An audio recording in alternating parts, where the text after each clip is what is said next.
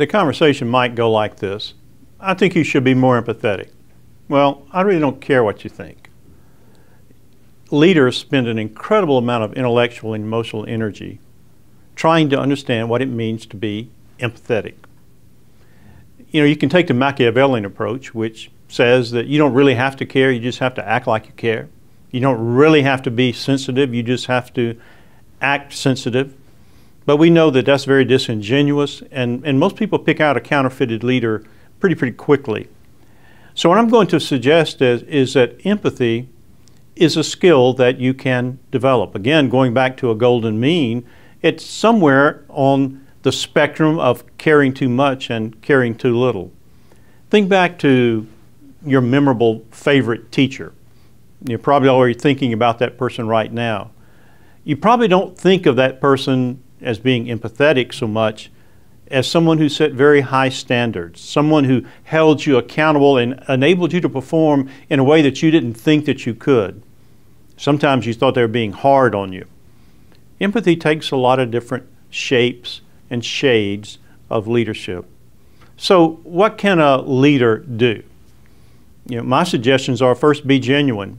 You know, say what you mean. Show people that that you care in a way of kind of speaking the truth in love, to quote the wisdom writers. Another is, is have very high standards.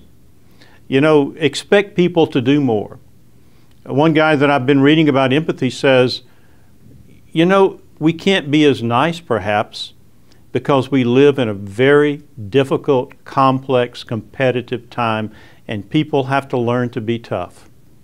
Well, tough, I don't know exactly what that means, but I do know that people have to rise to certain expectations and standards which will enable them to succeed, and that's a very empathetic act.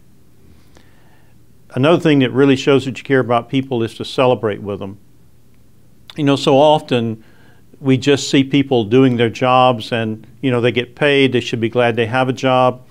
But to be empathetic is to recognize when they achieve, they meet that standard, and then you can celebrate with them. You know, one of the, the, the greatest coaches that's ever lived was Coach Vince Lombardi, who coached the Packers to Super Bowl wins and championships.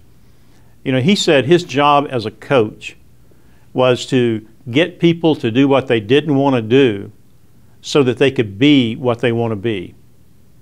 You know, that's somebody who understands in a very mature way how to be an empathetic leader.